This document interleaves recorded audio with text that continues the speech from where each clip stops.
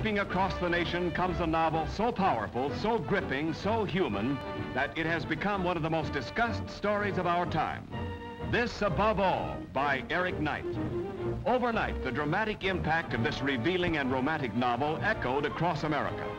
Almost instantly, it climbed to the top of bestseller lists. And additional millions thrilled to this stirring story through the condensed version printed in the Reader's Digest, through serialization in many of the nation's leading newspapers, and in pictorial presentations of the engrossing story in Life and Look magazines. Now this superb story becomes a triumphant motion picture with two of the screen's greatest stars in their most memorable roles. Tyrone Power, one of filmdom's favorite personalities, as Clive Briggs, and Joan Fontaine, Academy Award winner, as Prudence Cathaway, heading a cast of film favorites. Funny. Suppose a bomb dropped.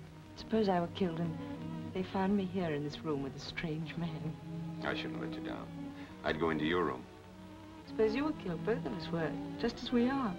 Then we'd both be dead and we wouldn't care a hang.